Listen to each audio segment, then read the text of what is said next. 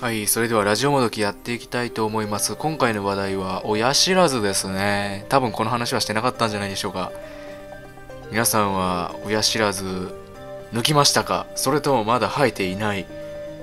それともあれ？なんて言ったっけ？抜きましたか？まだ生えてますか？あそんなもんですかね。それともまだ生存していますか？のいずれかですかね。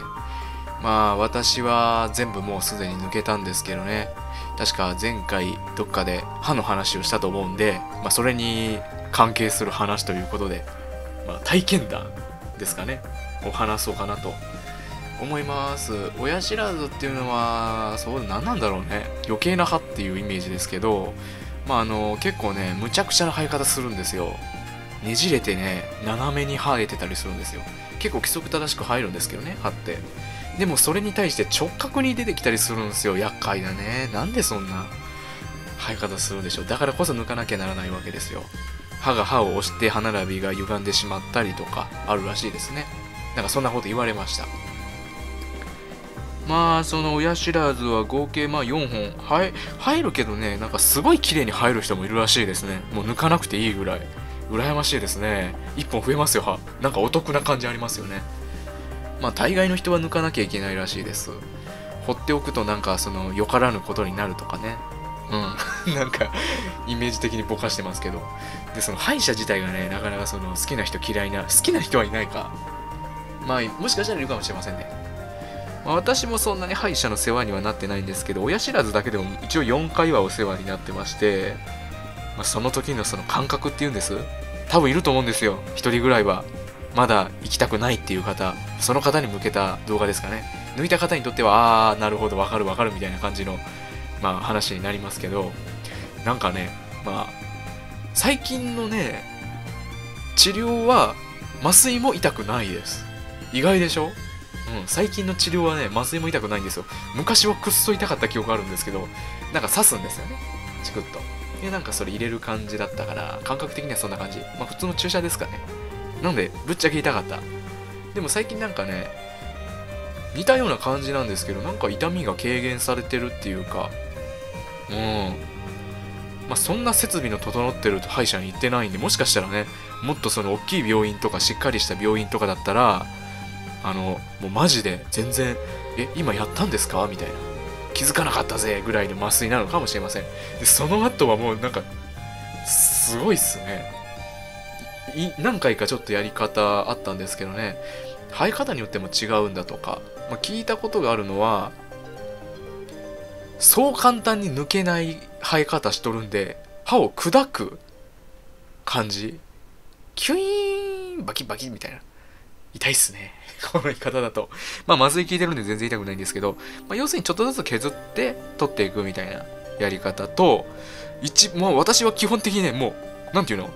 ウインナーみたいな、あの、遠くにある、あの、切った3つ、3つぐらいに分けたウインナーを、なんて例えればいいかな。すっぽん？トイレ掃除で例えるのは、どうなんだろう。カッポンだっけ？それを、まあ、歯に刺すわけですよ。プスッと。で、なんかあの、引っ張るみたいな感じ？なんかあるんですよ。あの、回してちょっと引っ張るみたいな形のやつがあるんですよ。感触的には多分そうだと思います。刺してなんか回すんです。その刺したやつを。すると自然と引っ張ってってくれるっていうんですか？それで最終的には抜けるというまあ力技ですわな。なんでその後しばらく穴が開きます。うん。痛そうでしょ？まあ言うて実はそんなに痛くないんですよ。1日ぐらいです。ちょっと気になるのは。そこに食べ物挟まるのはマジで苦痛ですね。本当に。それが一番厄介なんですよ。触っちゃいけないんですけど、触っちゃうっていうのはあると思います。そこのね、ポケットにご飯とかがスイッと入っていくんですよ。あのね、下の歯はね、もう重力的にまあ挟まるのはなんとなくわかると思うんですけど、上にも引っかかるんですよ。本当に。意外なことにね。どうやったら引っかかるのって思うんですけどね。それはだって上に上が陥没してるわけですから刺さりようがないように思うんですけど、案外器用にね、挟まるんです。まあ基本的に触らないでらしいんですけどね。うん。本当に触らない方がいいとは思います。まあ極力水で気合で間違っても綿棒突っ込んだりしたら痛い。逆にやばいんで。本当にね。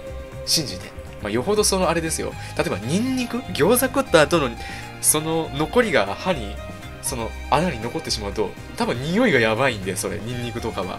口の中に残り続けると多分とんでもないことになるんでまあ食べるものにも気をつけた方がいいんですかね。まあそらあれよね。親知らず抜いた瞬間にねニンニク料理食うっていうのはなかなか考えづらいですが。まあそんな感じです、まあ、意外とねなんか身構えるよりは痛くもないしうんまあ早めに抜いた方がいいと思います。なんだろうね。そんな言うほどしんどくはない。ただなんだろうね。変な生え方すると大変らしいですね。つまりは放置しないことですかね。うん。早めだったらある程度楽っていうことは保証しますので、まあ、その医師の腕にもよりますけどなんかあ手が滑ったとかなったら まあないとは言い切れないんでね。そこら辺怖いですけど。でもいずれにせよ多分お世話になってしまうのでまあ楽な時にお世話になりましょうという感じで今回のお話終わります。ぜひねご検討くださいみたいな。うん。あそこのケーキ美味しかったんでぜひ買ってねぐらいの感覚でね親知らず抜くのをおすすめします。はい。